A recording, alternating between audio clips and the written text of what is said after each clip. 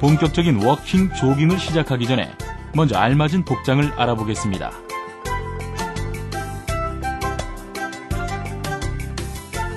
워킹과 조깅을 위한 복장은 땀 흡수가 잘 되고 통기성이 좋은 천연 섬유 소재의 옷으로 부드러우면서 특히 팔의 움직임이 자유로운 가벼운 옷차림이어야 합니다.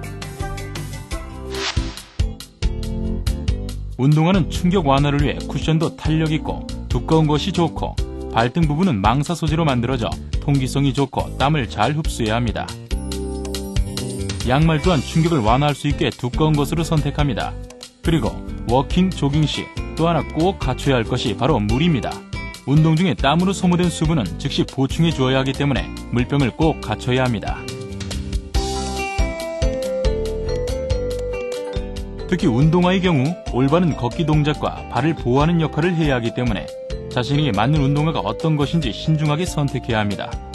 우선 발의 넓은 볼 부분이 꽉 끼지 않고 편안해야 하며 발끝으로 서도 발가락이 거북하게 느껴지지 않아야 합니다.